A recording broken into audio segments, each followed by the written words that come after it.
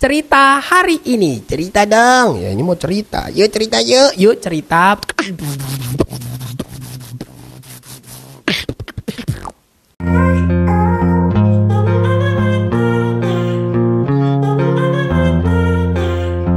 Suatu hari teman-teman ada seorang anak kecil yang tengah berjalan menggunakan sepatu kayu. Sepatu kayu? Iya.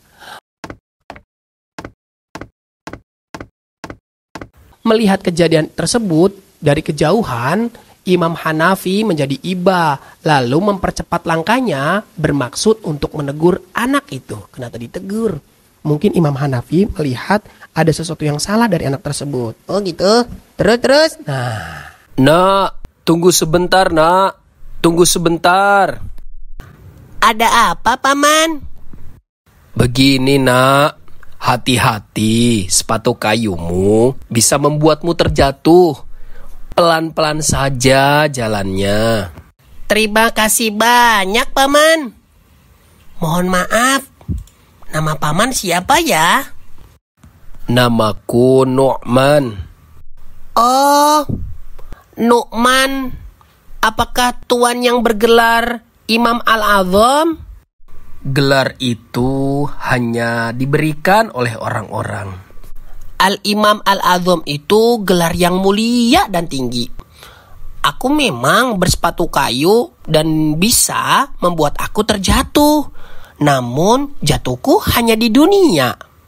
Tetapi duhai imam, justru gelarmu itu bisa membuatmu terjatuh ke dalam neraka. Jika engkau sombong dengan gelar tersebut. setelah memberi nasihat kepada Imam Hanafi, eh, eh, anak kecil itu melanjutkan perjalanan. Katain kak, pergi kadur, bukan kabur. Namanya anak-anak, kan senangnya main. Oh iya benar kayak aku, nah, kayak kamu. Namun yang terjadi sebaliknya. Kenapa kak? Imam Hanafi menjadi tertunduk dan menangis. Kok nangis? Nah,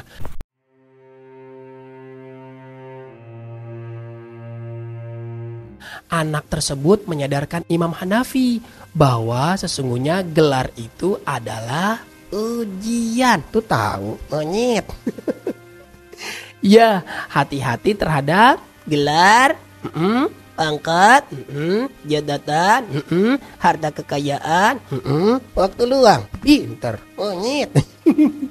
Merupakan sebuah ujian. Nah, kita sudah sepatutnya hati-hati ya. Mm-mm. Dan hebatnya Imam Hanafi mampu mendengarkan nasihat meskipun datangnya dari seorang anak kecil. Nah, cerita hari ini. Cerita dong. Udah cerita.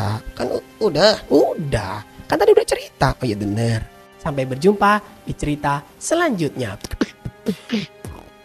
Eh,